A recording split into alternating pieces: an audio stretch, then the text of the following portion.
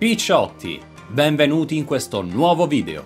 Oggi parliamo delle 10, come dire, convinzioni che una fetta non trascurabile del fandom di One Piece si è erroneamente fatta.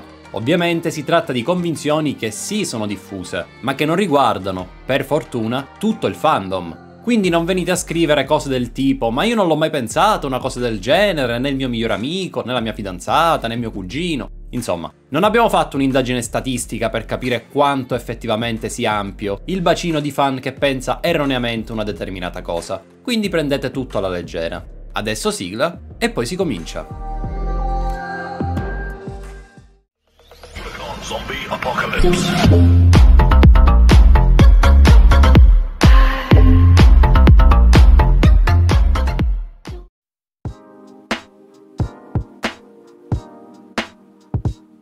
Al decimo posto abbiamo Quina.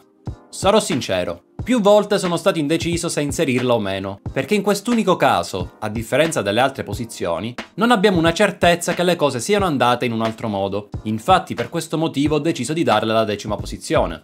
Quina, la migliore amica di Zoro, era una ragazza molto più brava del suo amico, ma afflitta dalla consapevolezza di non poter raggiungere le capacità fisiche che invece il suo amico rivale aveva e avrebbe avuto in futuro. Il giorno dopo la promessa che si fecero, e cioè che uno di loro sarebbe diventato il migliore o la migliore spadaccino o spadaccina al mondo, Quina cadde dalle scale e morì. Ufficialmente sappiamo questo, però a dir la verità penso sia stato un modo per intendere qualcosa di diverso che però il maestro Oda non ha voluto dire esplicitamente. Questa fantomatica caduta dalle scale reputo che sia stata una bugia per un bambino che non avrebbe sopportato la dura verità sulla sua cara amica. Ma non trattandosi, ripeto, di una cosa per cui possiamo esserne certi, queste sono solo delle illazioni. E per questo do la decima posizione.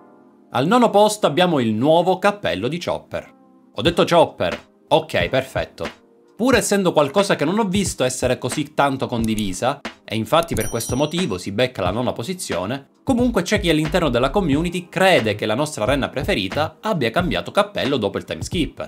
Ebbene no, Chopper continua ad indossare con orgoglio il cappello rosso regalatogli dal dottor Iriluk, a cui è legatissimo. Semplicemente adesso è rivestito da una cuffietta blu che conferisce al Nakama un'aria più casual, ma il capello rosso rimane tuttora saldamente ancorato alle sue corna.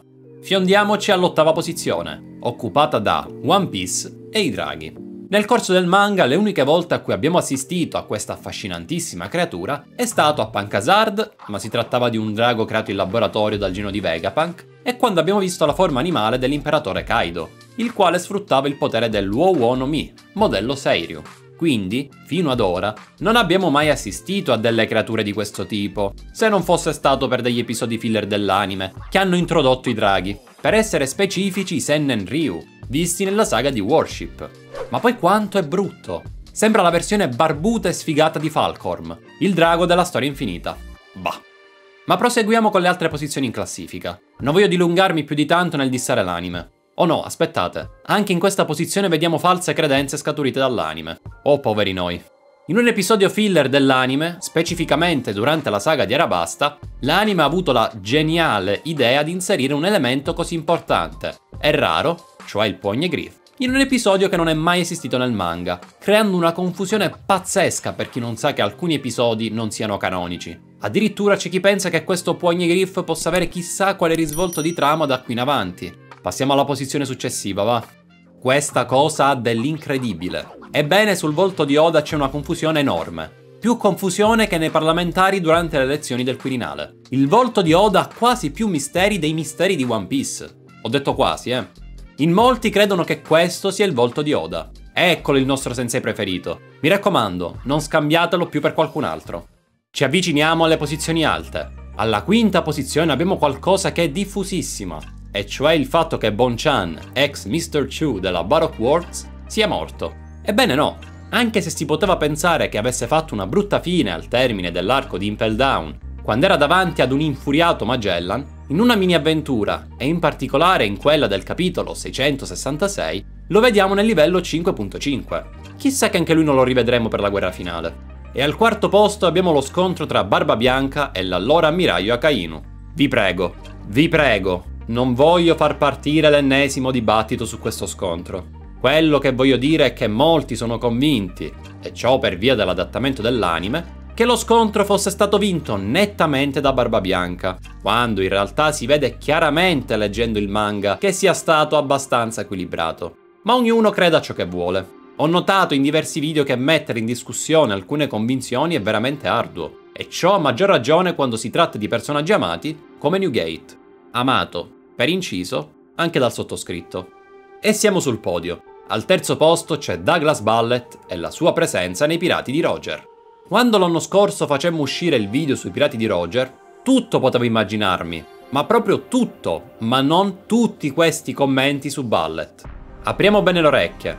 Ballet è un personaggio non canonico del film Stampede, ergo non ha mai fatto parte della ciurma di Roger. Infatti, guarda caso, nel flashback di Roger che abbiamo visto nell'anime e letto nel manga, non è presente. Inoltre non c'è mai stato un solo personaggio all'interno dell'opera che lo abbia nominato mezza volta. Mi spiace Ballet, ma non esisti.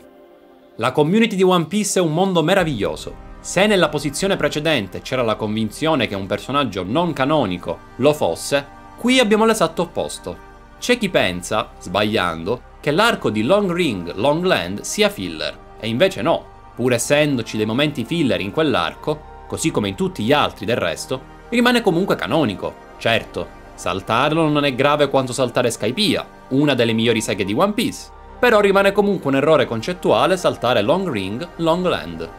Ed eccoci infine alla prima posizione, la falsa credenza che Dragon abbia la taglia più alta in One Piece. Anche questa cosa, come con Ballet, ha praticamente monopolizzato la sezione commenti di un nostro video. Stavolta quello sulle 20 taglie più alte in One Piece. Innanzitutto, togliamoci dalla testa il fatto che abbia una taglia nota, con un valore preciso. In secondo luogo, non è assolutamente detto, pur essendo probabile, che il numero 1 dell'armata abbia la taglia più alta tra quelle note. Di lui sappiamo che sia il peggior criminale al mondo, ma ciò non implica che sia anche la persona più ricercata della storia, oltre al fatto che non sappiamo bene cosa intendano con peggior.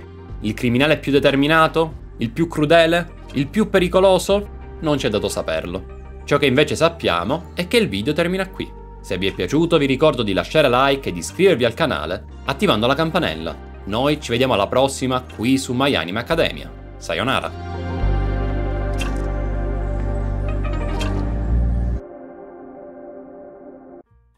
Bene ragazzi, il video termina qui.